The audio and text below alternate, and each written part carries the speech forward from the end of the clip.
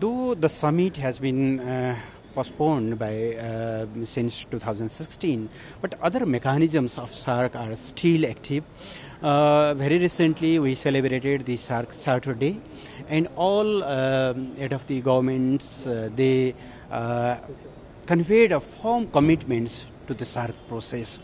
Uh, so after uh, looking the firm commitments of uh, all uh, head of the governments, I am fully confident that uh, the present dilemma will be settled soon uh, because SAARC is a common platform of 1.8 billion South Asian people and it can uh, play a very important role to uh, tackle the problems we are facing now. So we are optimistic. I think uh, such problems will be uh, solved uh, through uh, dialogues, through negotiation, through understanding.